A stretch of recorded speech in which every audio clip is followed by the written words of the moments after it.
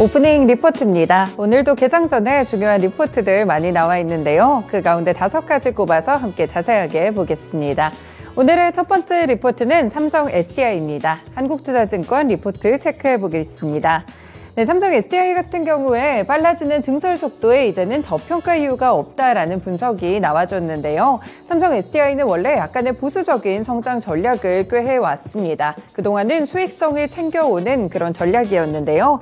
하지만 지난 하반기부터는 수주 행보가 상당히 공격적으로 변하고 있고요. 2차 전지 업체들의 가격 협상력이 높아지고 있습니다. 지금 자금 여력도 보유하고 있고 차세대 모델 개발로 수주 물량을 확보해야 되는 그런 필요성이 늘어났는데요. 증설 속도도 경쟁사들만큼 빨라지면서 느린 성장에 대한 우려감이 최근에 해소되고 있습니다. 지금 GM이나 볼보, BMW 등으로부터 추가 수주의 가능성이 상당히 높아졌는데요. 수주 모멘텀을 근거로 2차 전지 사업부가 앞으로 성장할 수 있고 여기에 대한 부분을 주가에 반영했습니다. 이에 따라 목표 주가는 100만 원을 넘긴 105만 원을 제시했습니다. 네, 두 번째 리포트는 삼성전기입니다. 키움증권 리포트 나와 있고요. 마침내 MLCC가 회복 사이클에 진입을 했습니다. 1분기 영업이익 추정치를 1,350억 원까지 상당 부분 높인 부분이 있었는데요. 패키지 기판은 부진하지만 MLCC의 실적 개선폭이 많이 좋아지고 있습니다. 이 중국의 스마트폰 수요 개선으로 IT 모멘텀이 있고요. 전장용 수요도 견조한데 고신뢰성 분야인 powertrain에도 적극적으로 대응하고 있습니다.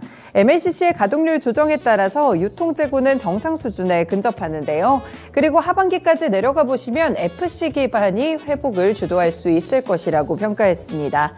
베트남 신공장 양산 효과에 서버나 네트워크 등 PC가 아닌 쪽의 비중이 늘어나고 있고 이를 긍정적으로 봤습니다. 목표 주가는 20만 원까지 상향 조정했습니다. 네, 세 번째 리포트는 에코프로비엠입니다. 한국투자증권 리포트 나와 있고요. 판매량 강세와 계약 체결 기대감의 합작품이라고 이렇게 제목을 달았습니다. 현재 에코프로비엠 같은 경우에는 앞서서 보신 삼성 SDI 같은 이 고객사의 신규 투자가 구체화되고 있고요. 여기에 장기 공급 계약 체결 기대감을 함께 봤습니다. 또 SK온의 올해 전지 출하량 guidance도 이번에 리포트에서 함께 반영을 했는데요. 다만 전기차의 시장 자체는 1월부터 2월까지 판매량이 둔화됐기 때문에 현재 전방 시장에 대한 성장성에서는 약간의 리스크가 있다고 보고 있습니다. 주가의 upside는 여기서 보시다시피 고객사에 달려있다는 평가를 내고 있는데요. 지금 보시면 삼성 SDI가 앞서서 굉장히 공격적인 모습을 보이고 있고 이에 따라서 Gen5 양극재 수요나 원통형 전지의 물량 증가가 예상되고 있습니다. 에코프로비엠 역시나 북미에서 추가적인 조인트 벤처 계약 체결이 있을 것이라고 봤고요. 일단은 고객사의 성장에 기대며 목표 주가 25만 원까지 상향 조정했습니다. 네, 다음 종목은 현대제철입니다. 유한타증권 리포트입니다. 판재료와 봉현강류 상황이 바뀌다라는 제목인데요. 먼저 봉현강 쪽을 체크를 해보시면요. 지금 철근의 생산 능력은 연간 약 330만 톤을 기록 중이고요. 현강은 360만 톤 수준으로 추정이 되고 있습니다. 지금 국내 제강사들 가운데 가장 큰 규모를 가지고 있는데요. 물론 아직까지 봉현강류에 대한 수익성 우려는 있습니다. 이 국내 건설량 수요는 이전과 비슷한데 경쟁사가 추가되면서 공급 물량이 확대되는 상황이기 때문입니다. 하지만 판재료 가격 인상에 나서고 있고요. 사강판의 판매도 자동차 판매량이 증가하면서 함께 올라갈 수 있을 것이라고 봤습니다. 긍정적인 점과 약간의 리스크가 혼재된 모습으로 목표 주가는 4만 7천 원을 유지했습니다.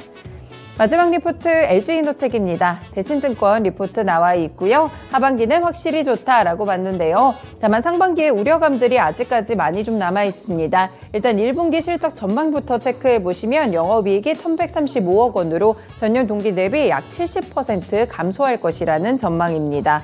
지금 아이폰 14의 판매도 둔화되고 고정비 부담이 증가하고 있는데요. 반도체 기판에서 매출까지 감소하면서 영업이익률도 점차 낮아지고 있습니다.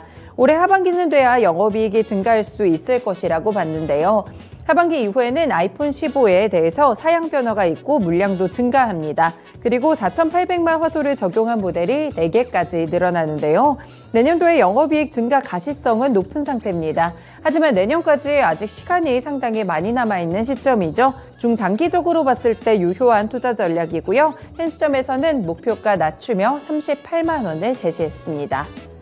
네, 오늘도 이렇게 다섯 가지 리포트 살펴드렸습니다. 오프닝 리포트였습니다.